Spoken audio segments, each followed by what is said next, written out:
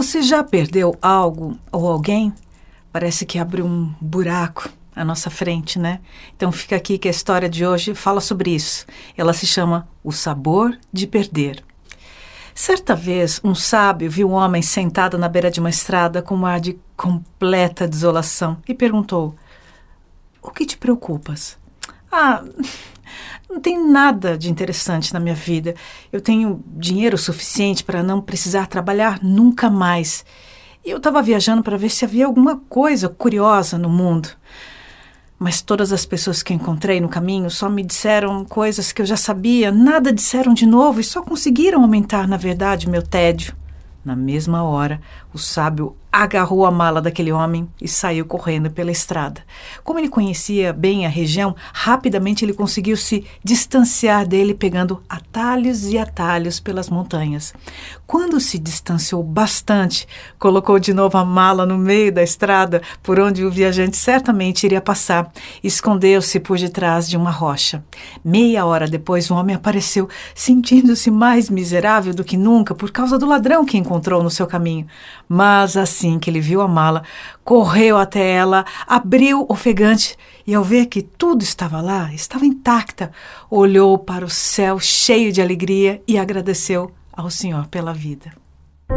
Já percebeu que muitos só dão valor no momento da perda? E isso vale para todos os aspectos das nossas vidas. E as perdas podem ser materiais, como é o caso da história, mas pode ser uma perda emocional, psicológica, material ou ainda financeira. Quer ver só? Tem gente que vive reclamando do trabalho, mas só dá valor mesmo na hora que acontece uma demissão. Tem pessoas que só conseguem enxergar o valor de um relacionamento, o amor do outro, quando ele é desfeito.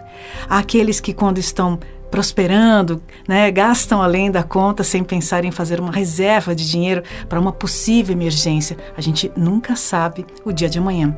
Tem outras que choram e lamuriam e só depois da partida de um ente querido.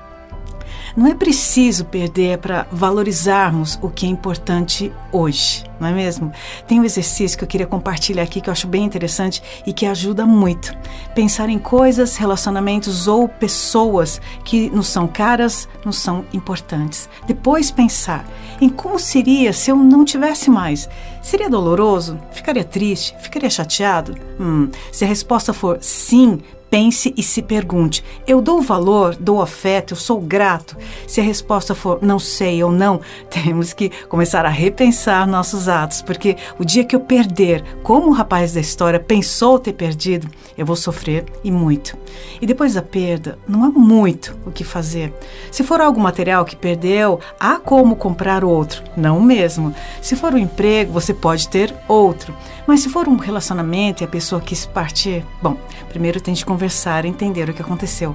Pode ser, em muitos casos, reversível.